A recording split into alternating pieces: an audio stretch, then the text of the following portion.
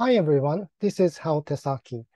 This webinar is based on the presentation that I gave in a very recent international conference, and which was an on-site conference, and I was there, as you see. And this is the title of this conference, and so it was held to celebrate the 90th birthday of Professor Elliott Lieb.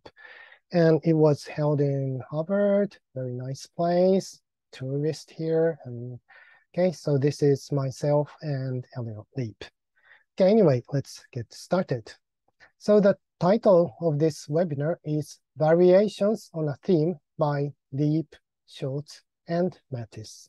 Okay, and this is the paper in which this main theme was introduced.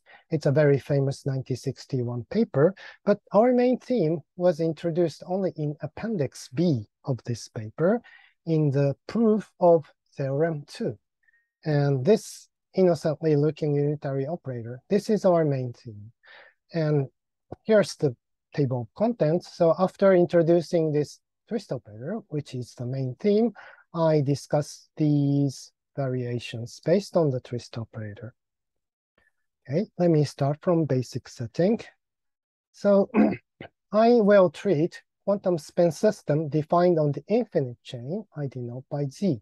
Okay, and I think some of you are not familiar with the treatment of infinite spin system, but I think this explanation will be enough. But if you want to know, if you want to know more details, uh, I recommend you to read either my book or this review article. I think both are readable. Okay. anyway, so let's get let's continue. So uh, as usual, I denote by J the site of infinite chain. And on each site, I have quantum spin with spin quantum number S. And in most part of this talk, I consider spin one system, but for the moment, let's say that S is S, S takes general value, one half, one, three halves, dot, dot, dot. And this is just the usual notation, uh, spin operator, X component, Y component, Z component, and they satisfy this familiar commutation relation. And yes, SZ squared is equal to this S times S plus one. This is a constant.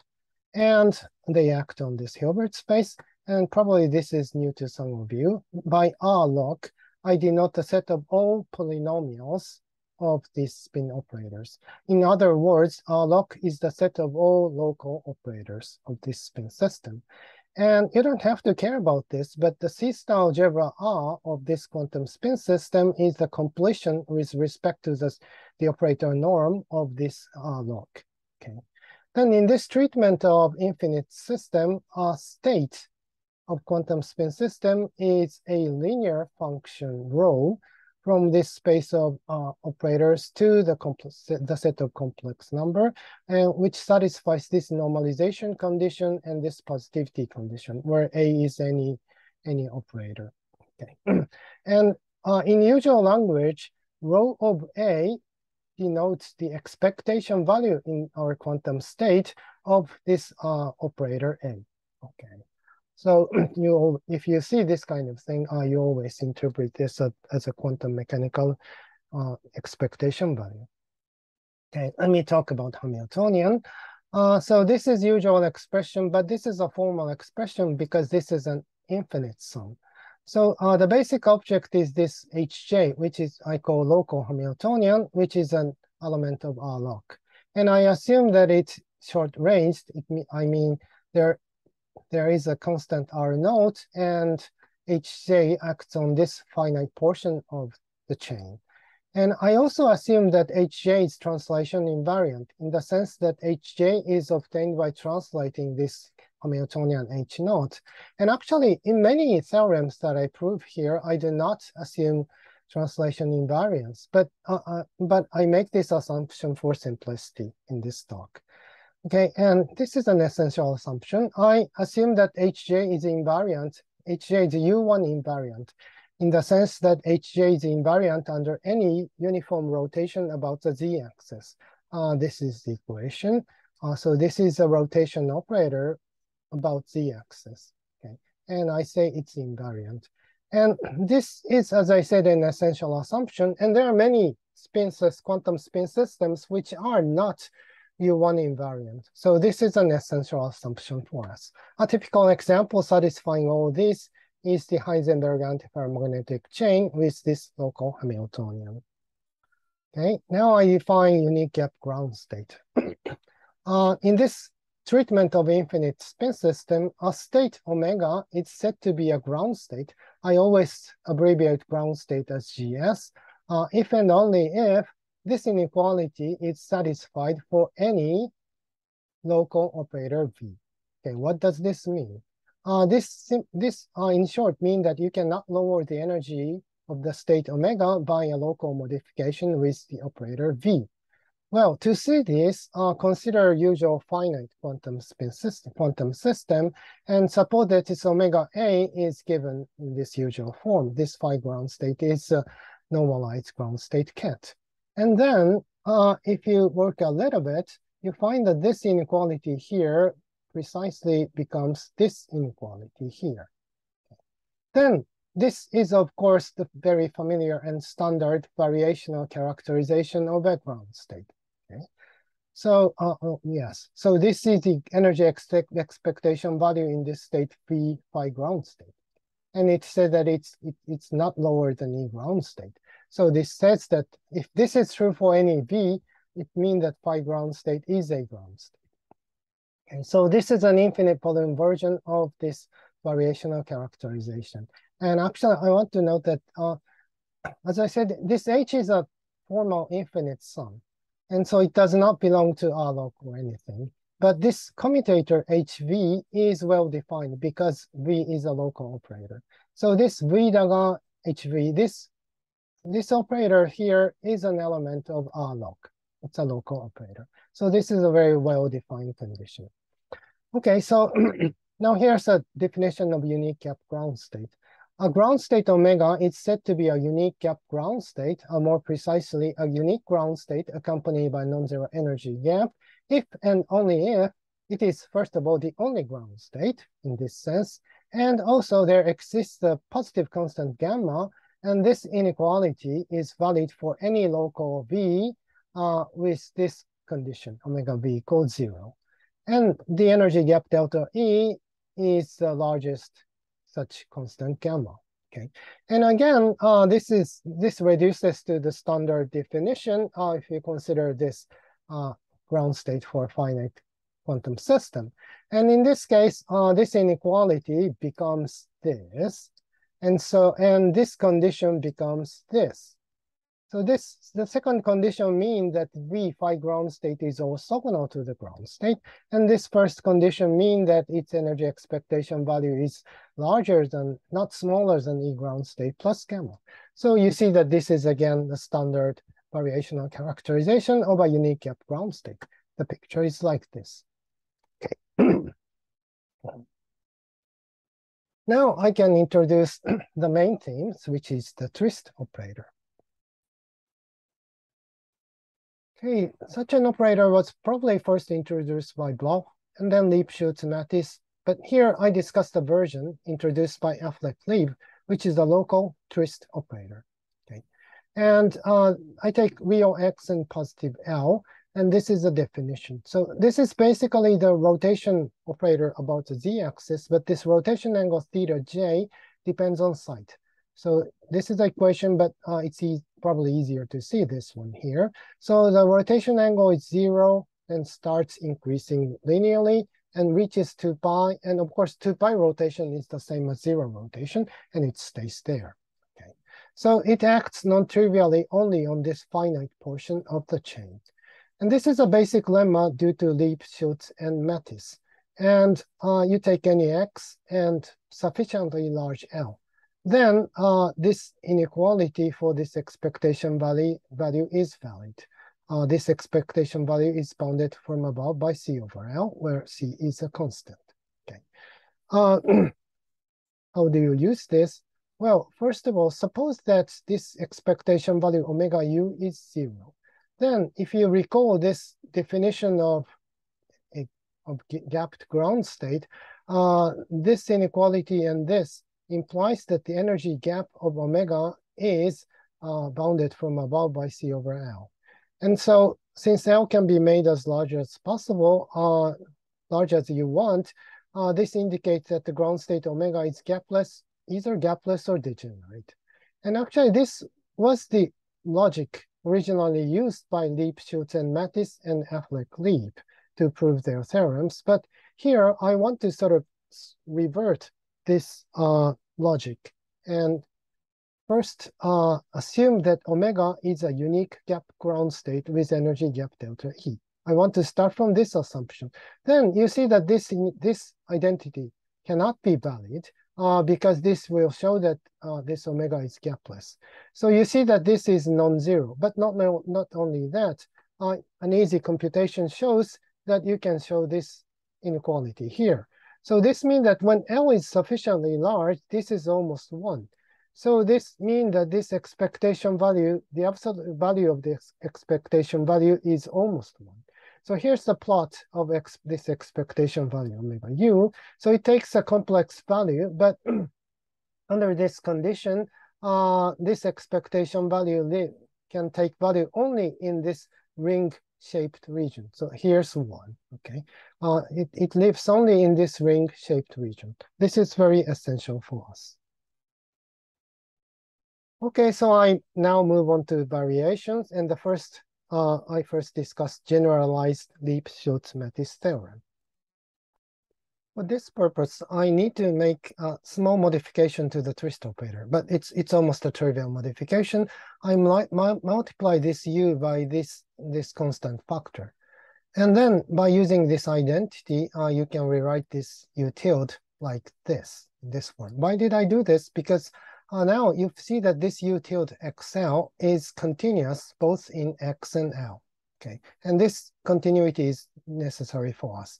And actually, uh, I also note that this modification is necessary only when S is a half on integer. If S is an integer, then this original UXL itself is continuous both in X and L. Anyway, uh, with this modification, now I suppose that omega is a unique gapped ground state. And then since Hamiltonian is translation invariant, omega is also, trans of course, translation invariant, and you have this identity here. And you also know that this omega u tilde is continuous in X. Okay, and I fix L for to be sufficiently large, and then this is, of course, very close to 1. Okay, now this lives in this ring-shaped region, and if you change x from 0 to 1, then it forms, it, it defines a loop within this ring-shaped region. Okay, and then of course you have a well-defined winding number associated with this loop, and in this case the winding number is 2. Okay, So I denote this winding number by nu omega.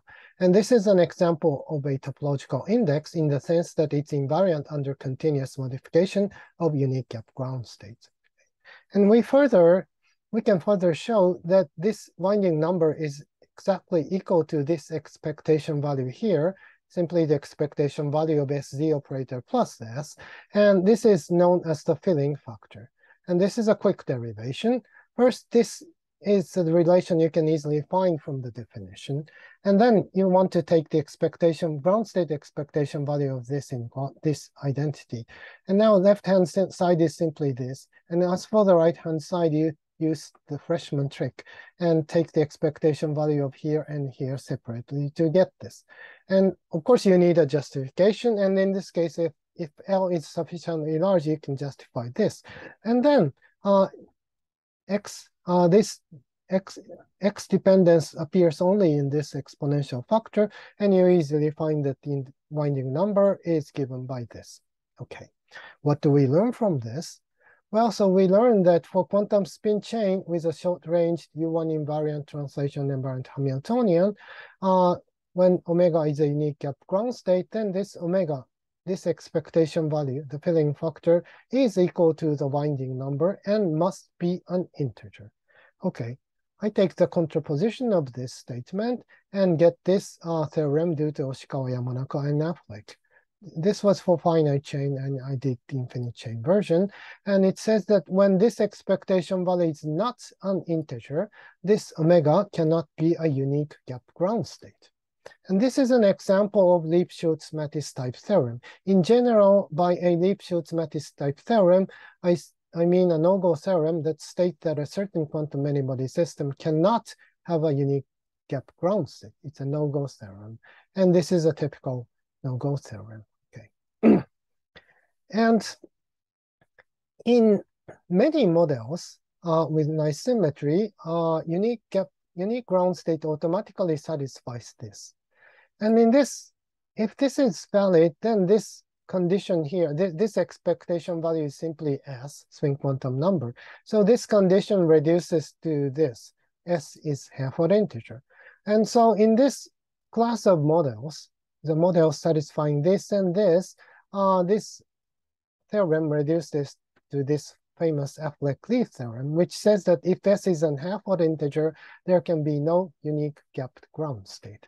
And this theorem is famous and important because it is closely related to uh, something called the Haldane conjecture, which brought Haldane the 2016 Nobel Prize in Physics. And what does it say? Well, Haldane argued in 1981, 1983 papers that the Heisenberg antiferromagnetic chain has, has a unique gapless ground state if S is a half-odd integer and a unique gap ground state if S is an integer. Okay, so uh, this is quite relevant to this Haldane conjecture. Actually, it's, it's, it's relevant to this first half of Haldane conjecture. Okay, from now on, I, I want to concentrate on spin one chain. And first, I want to discuss topological phase transition in spin one chains. So we have seen that when S is a half-odd integer, there can be no unique gap ground state in a certain class of models. But if S is an integer, like 1, then of course there are quantum spin chains with U1 and translation invariant Hamiltonians, which have a unique gapped ground state. Here are two examples. The first example is called the trivial model, and it's really trivial. This is the Hamiltonian. It's simply the sum of local SZ operators. Okay, and in this case, the ground state is simply the tensor product of zero ket. Zero ket is this eigenket of SZ operator. And uh, I note that this Hamiltonian is invariant, first of all, under any rotation about the z-axis, so it has U1 invariance, but it's also invariant under this spin flip of SZ operator. This is realized, for example, by the pi rotation about the x-axis. So it's a non-interacting model with U1 cross Z2 symmetry. The second example is called the AKLT model. And uh, Actually, I did this with Ian Affleck, Tom Kennedy, and Elliott Lieb back in 1987. Uh, the uniqueness for the infinite chain was proved by Matsui. And this is the Hamiltonian. And we have an exact expression for the ground state. I'm not going to explain, but this is our, our graphic expression for the exact ground state.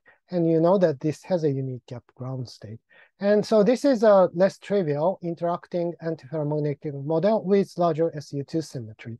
And so this is closely, closely related to the Haldane conjecture. So we have two examples of models with a unique gap ground state. How are they related? Are they something similar or are they very, very different? Uh, in order to answer this question, it's a good idea to look at a model which interpolates between these two Hamiltonians. So this s is the interpolating parameter, and lowercase s is the parameter. And when lowercase s is zero, this is simply the trivial Hamiltonian. And when lowercase s is one, this is AKLT Hamiltonian. So we already know that at, at the two ends, zero and one, this has a unique gap ground state. What happens in between? This is a numerical simulation. Uh, this was done by my friend Hosho Katsura, and he says uh, it was easy. He used Mathematica. And okay, but anyway, uh, probably it's easy for him. I cannot do it. But uh, here you see this gap for this trivial Hamiltonian. And here you see the gap for the AKLT model, AKLT model, which should be identified with the Haldane gap. Okay, and you clearly see that in between there is a gapless point. So it's reasonable to conclude that there is a phase transition at an intermediate S. Let's draw a phase diagram. So uh, this is a critical point. And here we have trivial model. So probably we should call this the trivial phase. And here we have the Haldane gap. So we should call this the Haldane phase. What are the characters of the two phases? Well, in the trivial phase, we have a unique gap ground state, no symmetry, break, no symmetry breaking, no long range order. In the Haldane gap phase, Haldane phase, we have a unique gap ground state, no symmetry breaking, no long range order. So the same. So we should ask, how can we distinguish between these two phases? Or we should even ask whether there is a really phase transition between these phases. uh, this turned out to be a very good problem to think about, and many people, including myself, have thought about this. And there appeared some very nice ideas, hidden antiferromagnetic order. I'm not going to talk about this. And the emergence of edge state, I will come back to this later. And by combining these two, uh, Tom Kennedy and myself proposed a picture that we call the hidden Z2 Z2 symmetry breaking picture.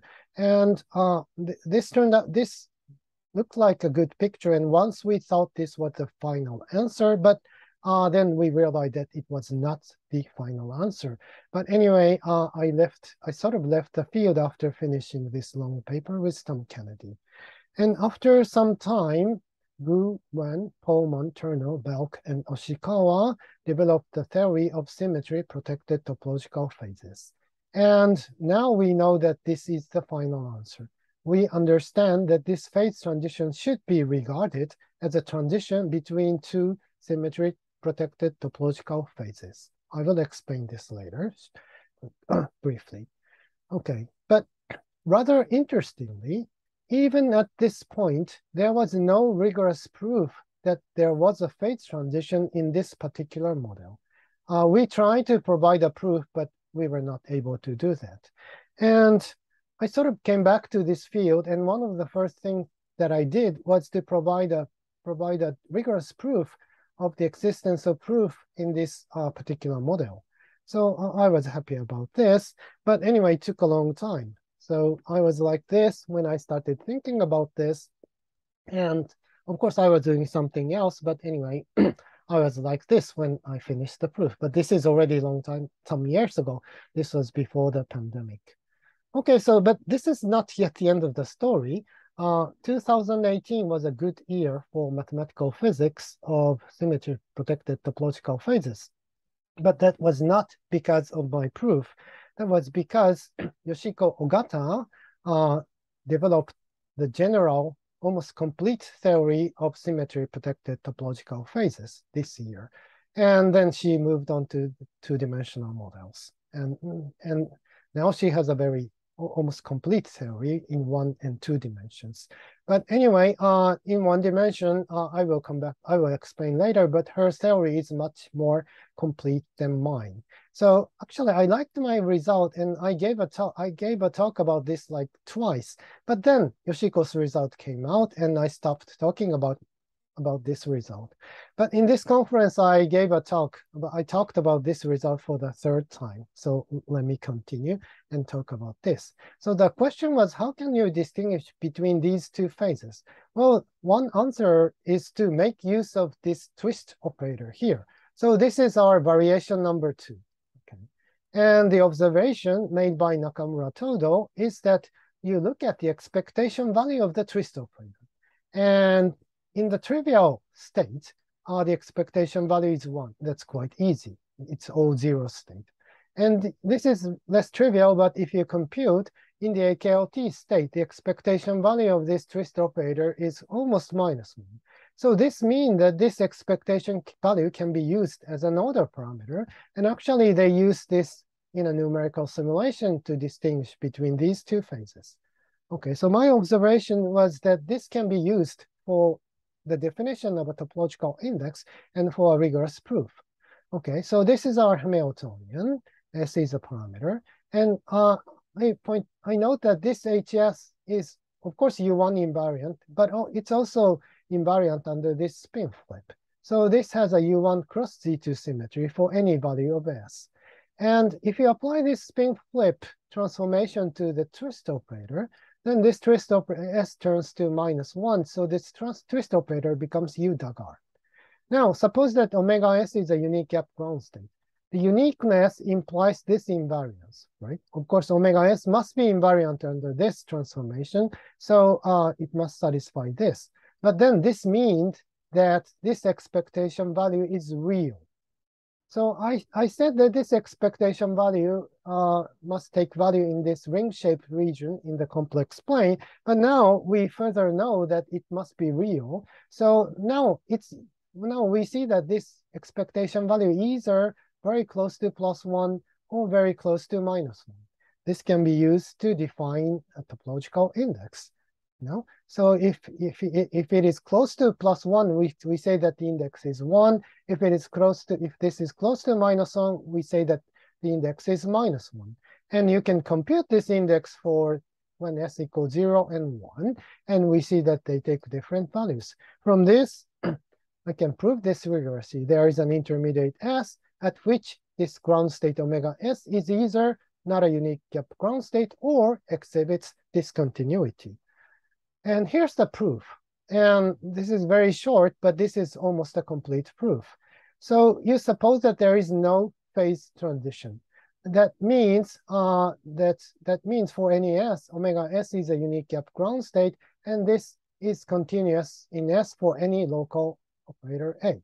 Okay, but uh, we we so from this we know that this omega from this gap gapness unique gapness we know that this omega su is almost either almost plus or minus one and for, for sufficiently large L and we also know that this is continuous from this assumption. Then this cannot of course change its sign so sigma s cannot change the sign but but uh, we know that sigma zero and sigma 1 are different. So there is a contradiction. Okay. So this is almost a complete proof. Very short and simple, and I like it. And it's based on this consideration about twist operator. But as I said, uh, Ogata's result in the same year is a complete theory of SPT phases that only requires a minimum symmetry. In this case, Z2 cross Z2 symmetry. I will explain this later. And my theorem is elementary, very easy. And Yoshiko's theorem uh, requires very difficult mathematics like Neumann algebra. But uh, mine is much elementary, but requires larger symmetry. In this case, U1 cross Z2 symmetry. So uh, in this sense, my theorem is physically weaker than Yoshiko's theorem. That's why I stopped talking about this. But anyway, this is the result. And this is based on the twist operator.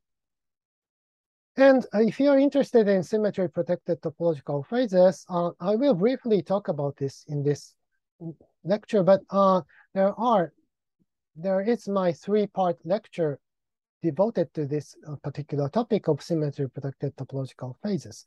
Uh, so if you're interested in, please uh, look at, please take a look at this lecture, which you can find on YouTube or in the list of my online lectures. Okay. okay, so now I move on to the next topic of edge states, and I want to characterize the Haldane phase in this as spin one chains. Okay, let me go back to the AKLT model. So as I said, this model, AKLT model on the infinite chain has a unique gapped ground state. But if you consider the same model on the half-infinite chain, then it is known that the model has doubly degenerate ground states, two ground states. And it is known that this double degeneracy comes from something called emergent effective spin one half degree of freedom at the edge. Okay. And we found this in the AKLT model, our exactly solvable, solvable model, and we first thought that this was a very special property of our model. But then soon after this, Tom Kennedy, through numerical experiment, uh, pointed out that this emergence of effective spin one half at the edge is a universal property of the Haldane phase. And then there appeared a beautiful experiment by Hagiwara, Katsumata, Fleck, Halper, and Renard, uh, in which this effective spin one half at the edge was observed through ESR experiment. Of course, uh, you cannot have simply uh, chain with edge. So here you have they, they have a material called NEMP, NENP, and they dope impurity to this NEMP. And then impurity effectively uh, generates this kind of edge many places. And then you clearly see this uh, signal of emergent spin one half degrees of freedom from the ESR experiment. Okay. So this is a very important property, and I wanted to prove this. And actually, I found that it was not easy. Okay, I realized this last year. Uh, but so here is my statement. Okay, so this is our Hamiltonian, the interpolating Hamiltonian that we have been talking about. And I rewrite this in terms of local operator like this. So this is a local interpolating Hamiltonian. This is the AKLT part. This is trivial part. Okay. Then uh, this H prime S is the same Hamiltonian restricted onto the half infinite chain. Okay. Half infinite chain. And then here's the theorem. You assume that this HS has a unique gap ground state with sigma s, the index minus one. So it means that it's in the Haldane phase. And then uh, I let omega prime s be an arbitrary ground state of h prime s. I do not assume anything like uniqueness. We don't know anything about this. Then uh, what we can prove is that for arbitrary given positive epsilon, there exists a local unitary operator u epsilon such that uh, this is this expectation value is zero and this expectation value is bounded from a by, by epsilon. And this is local and acts near the edge of Z plus. Okay. And what does this mean? Well, if you rewrite this in usual language, you find that this means that this U prime, U phi prime is orthogonal to the ground state of half infinite chain, and its excitation energy is less than equal to epsilon. Okay, so this is precisely the uh, low-lying, low-energy mode that lives near the edge. Okay, this is this proves the existence of edge mode. How do you prove this? Well, the proof is very easy. And this, yeah, uh, okay. So this is my variation number four of this twist operator. So again, the proof uses twist operator. And this, this is just pictures, but this is a completely rigorous proof. Okay. Now I fix L to be sufficiently large, and I want to examine this expectation value omega prime uh, excel, And first of all, if X is sufficiently large, then the twist operator is like this, and this twist region is deep inside the bulk. And in this case, uh, since it is deep in bulk, uh, the uniqueness of the bulk ground state implies that this should be close to this. And we assume that uh, the bulk system in the Haldane phase, so this is close to minus one. So this is also close to minus one. That's number one. Uh, I fix same x, uh, same L, and makes x very negative and ne make x negative and satisfy this. And in this case, the twist region is here in this negative region. And so it, it actually, it doesn't do anything. It's just one. So in this case, the expectation value is one. Now we know that this omega prime UXL is continuous in X. So from the continu continuity, we find, and it's one here, it's minus one here. So by continuity, we conclude that there must be an intermediate X at which this is zero. So we have this for this particular X, and this is just the Lieb-Schultz-Mattis lemma, which is always valid. Okay. So uh, from this, I can conclude rigorously that there is an excited state with excitation energy, energy bounded from above by C over L. Good. And one thing I like about this proof is that this logic here is exactly the same as the original logic used by Lieb-Schultz-Mattis in their 1961 paper.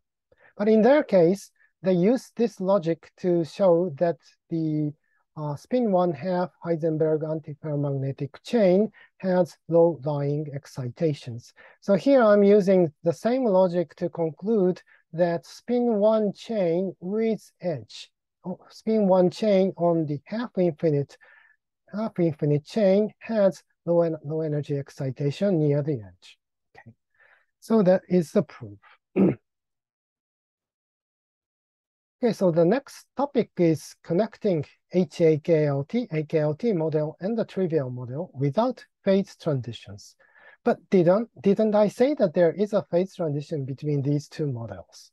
Well, I said, and it's true. So I already said that there is a phase transition between here. But here is a more general picture of symmetry protected topological phases. Okay, I said that, that there is a phase transition for this particular model.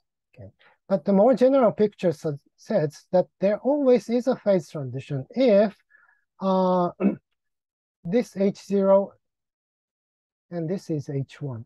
H0, H1, and HS, everything has Z2 cross Z2 symmetry. Under this condition, then uh, they concluded, and actually Yoshiko Ogata proved, that there is a phase transition in between. And this Z2 cross Z2 symmetry is the symmetry uh, with respect to the pi rotations about the x-axis and, and the z-axis. Okay. This in turn means that one may connect the two models, two models here, zero and one, without phase transition if the symmetry is not respected. Okay. And actually, this fact was already demonstrated back in 2012 by Sven Bachmann and Bruno Nachtergaele by a construction of very clever examples. And it was also proved within the theory of matrix product state by Yoshiko Ogata. And actually, Daisuke Maekawa and myself also provided a simple example of this kind. So let me talk about this because uh, this is my variation number five. Okay. So my goal is to connect the ground state of this trivial Hamiltonian and the AKLT Hamiltonian. Here I consider the spin chain on finite open chain. Okay. And here is the exact ground state of the AKLT model. And I'm not going to explain, but this up, down are the states of spin one half. And this S or this circle, this oval represents the projection onto the spin one state.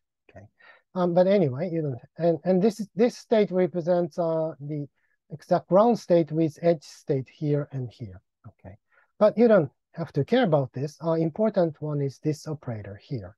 Uh, here I have Lieb Schultz Mattis-like twist operator, but look, this is not a typo. I don't have I here, and theta is real. So this means that this is a very weird operator. It's a, it should be interpreted as a twist operator with imaginary rotation angle. Okay, and usually if you apply this kind of state to a translation invariant state, you get a very pathological non-translation invariant state. But In this particular case of AKLT state, uh, the result of application of this VS, imaginary angle twist operator, is more or less uh, basically rotation invariant, no, no, translation invariant state like this. Okay. Let me move it here.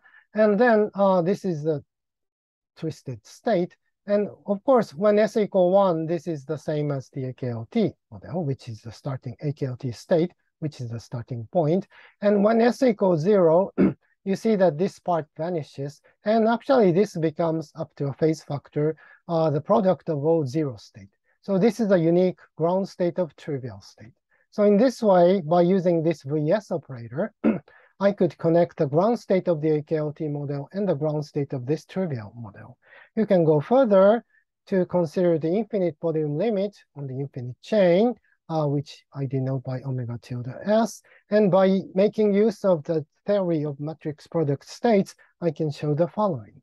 I can say, show that there is a continuous family A tilde s with s running between 0 and 1 of Hamiltonians on the infinite chain, and which interpolates between AKLT Hamiltonian and trivial Hamiltonian. And also it has omega tilde s as its unique gapped ground state. Okay. And of course, this Hamiltonian or these states do not uh, preserve this Z2 cross Z2 symmetry. That is the point. so this is a rough picture of these symmetry protected phases, these symmetry protected topological phases. So here is the AKLT Hamiltonian, here is the trivial Hamiltonian. And suppose that this three-dimensional space is the whole space of short-range Hamiltonians. And this plane here is the space of Hamiltonians with Z2 cross Z2 symmetries, symmetry.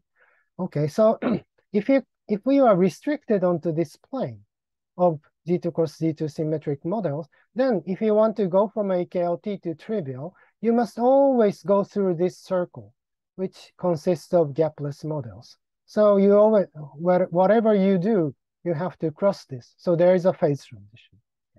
And that was proved by Yoshiko Ogata.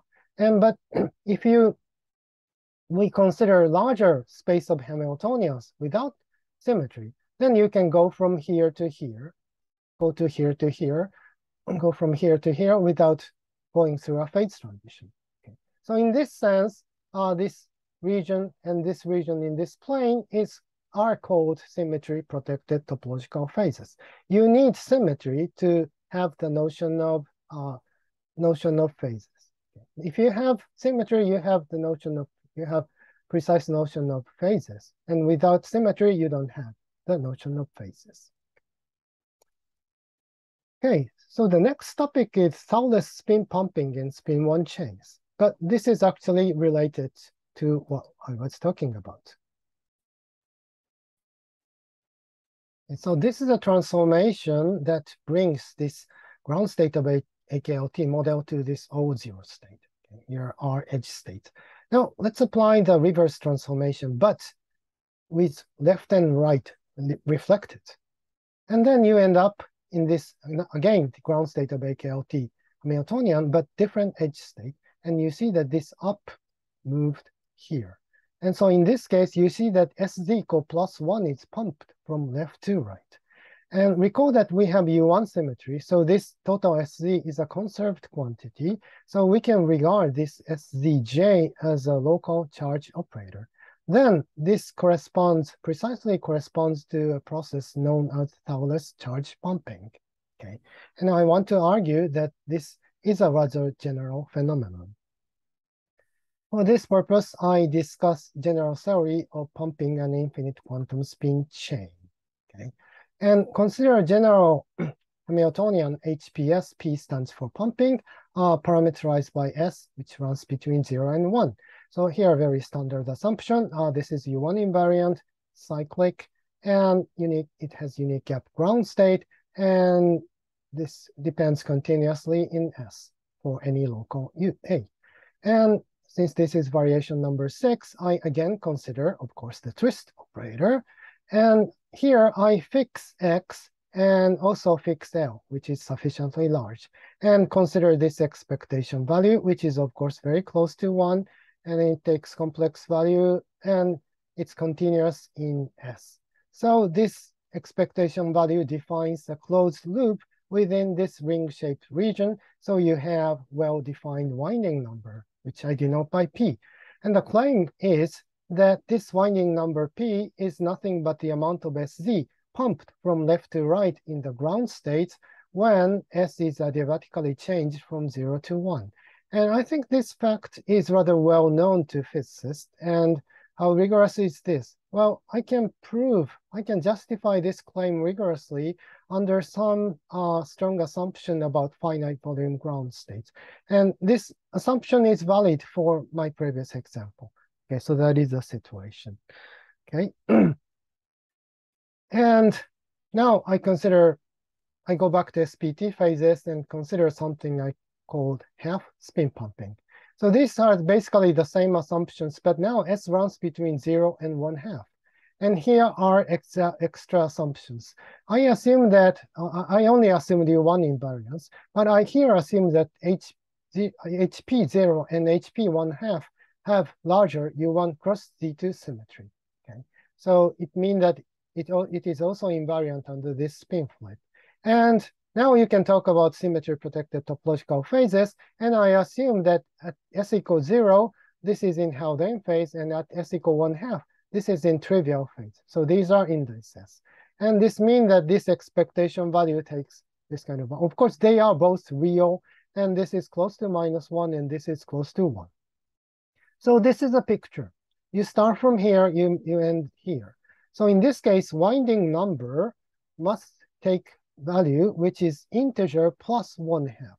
I don't know what this winding number is, but I'm sure that it cannot be zero. Okay, it's at least one half or minus one half, three half or whatever, three halves or whatever, but it cannot be zero. Okay, this is the basic observation. So if you go from zero to one half, you must go go around this at least half. And then the rest is easy. Uh, you you just let it go and make a complete circle. And of course, uh, if you do it in a stupid, stupid manner, it just goes around. It does not uh, have any winding number, but you know, you can force it to go around. And it's just easy, and this is one way of doing it. So now uh, S runs between zero and one, and these are just, everything is almost the same. And this is one extra assumption about the, uh, the reflection. So this R denotes a spatial reflection, bond-centered or site-centered, which, uh, whichever you like. And I assume this symmetry. I impose this symmetry. Then uh, this assures that it, it, it has to go, keep on going, and uh, have non-zero winding number. So here's the theorem. In the above setting, the winding number P is non-zero. And and what you know, uh, I note that this winding number is always well defined, uh, whether we can interpret it as the pumped spin. But anyway, uh, the interpretation is that this P, of course, the winding number is the amount of total spin pumped in the adiabatic process. Okay, so this is my variation number seven. And this is the physical interpretation. So we always have non-zero pumping when there is a path of Hamiltonians with a unique gap ground state, which connect models in the Haldane phase and the trivial phase. So if you can go from here to here without phase transition uh, by using these U1 symmetric Hamiltonians, then you can make use of this to construct this kind of path in which we always have non-zero spin pumping. And as far, far as I know, this kind of picture was first pointed out by Kuno and Hatsugai, and this is one rigorous and general version of their observation. And I, I demonstrated everything in spin one chain, uh, but I can construct similar example of, of translation invariant models with any integer spin s. Okay. And the final topic is, this is basically the same thing, but it's about the classification, classification of loops of Hamiltonians. Let me first discuss uh, index for a loop of Hamiltonians, but this is nothing new. This is the same as pumping business, but only new notation. So by H dot, I denote a loop of Hamiltonians. Uh, this is simply one parameter family HS, where S runs between 0, 1, and 1 of UN invariant Hamiltonians, and I assume that it defines a cycle like this. And here are the same assumptions. And again, then uh, this expectation value, if when if, if I fix X and L and change S from 0 to 1, then we, we get this uh, loop in this ring-shaped region. So we have this winding number pH. Okay, so this is a theorem, but this is something we already know. Okay, and this index has a nice invariance property. Okay, uh, this is again very trivial, but uh, I say take take two loops h dot and h prime dot of Hamiltonians, and we say that they are homotopic with each other if and only if there exists an interpolating Hamiltonian h tilde parameterized by s and lambda, and this coincides with hs when lambda equals zero and coincides with h prime s when lambda equals one. And I further assume this unique gap condition for this and this continuity condition for this. And so this is just, just a picture of two loops. And then uh, it is rather trivial by continuity that if if these two loops of Hamiltonians are homotopic with each other and their indices are the same. Okay. And in this recent paper, this is a difficult paper, but you find a much more general and complete version of this kind of statement. Okay. Anyway, so uh, this is trivially easy, and this is my variation number eight. And as a trivial consequence of this uh, theorem, I point out that, that we can show somewhat interesting no-go theorem. So recall this situation. So we have this line of U1 cross T2 symmetric models. And on this line, we have trivial phase and Haldane phase. And we have shown that there is a transition. We, we still do not have shown that it's a gapless model. people believe that it's a gapless model, but anyway, we have shown that there is something singular in between. And here's the larger picture of U1 symmetric models with unique gap ground state. And I could we could co connect this Haldane phase to trivial phase by only using this U1 symmetric model uh, with unique gap ground state. And then uh, we can complete this path to make this loop here. And this has non, non-zero winding number or non-zero spin pumping. So we have this loop with non-zero spin pumping, non-zero winding number, and inside we have this singularity. And I would say that this structure is stable in the following sense. Okay, take a two-dimensional disk and consider a map from this disk to U1 symmetric Hamiltonians. And I assume that at this boundary, this map coincides with this pumping Hamiltonian, which have non-zero winding number.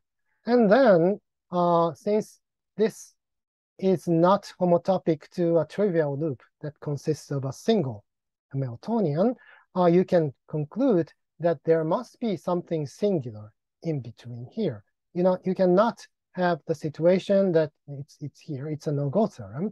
So the, the basic, the main precise statement is that, okay, D, D is a disk, and HQ is, this is a map from disk to U1 invariant Hamiltonians, okay? And it coincides with this pumping Hamiltonian at the boundary. Then it is impossible that HQ has a unique gap ground state omega Q for all Q in the disk, and also that this omega QA is continuous in Q for any local operator A. So uh, this means that there must be some singularity it could be gapless Hamiltonian, degenerate Hamiltonian, discontinuous ground state, or whatever. But anyway, we, we are sure that there is a there is some singularity. So uh, this is somewhat interesting. So we started from this consideration of SPT phases. So we needed this U1 cross D2 symmetry to locate this phase transition. But here, uh, of course, we have U1 cross D2 symmetry here and here. But except we don't assume this. We only assume U1 symmetry. But still, this singularity sort of survives, and it must be always here. Okay. So these are my variations. So I can go to my summary. so the basic message is that the twist operator of Lieb, Schultz, Mattis, and Affleck Lieb enables us to prove various topological properties of quantum spin chains in, I would say, surprisingly elementary manners. And, you know, these were, the proofs were very, very short and elementary. And uh, here's about the extension. This method actually applies to fermions or bosons, I mean quantum particle system in one dimension. And actually this extension is more natural because uh, recall that we had to assume U1 symmetry. But in quantum spin systems, there are many systems without U1 symmetry. But in particle system, with particle number conservation, we have uh, quantum mechanical U1 symmetry, built-in U1 symmetry, and we can use this symmetry uh, to make this argument. Okay, and th this is the question I'm asking to myself. Uh, so th this was very elementary. So are there similar elementary strategies that apply to systems with like Z2 cross Z2 symmetry and avoid using difficult von Neumann algebra that Yoshiko Ogata used? Uh, but for the moment, it seems very, very difficult.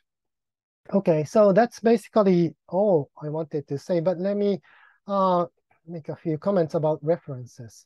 So first of all, if you are interested in background, basic, and other interesting topics, related topics, I recommend you my book, which was published in 2020. And this is the book, so it's it's beautiful. So it actually the cover was designed by Japanese renowned manga artist Mari Okazaki, and well, so it's worth having in your bookshelf.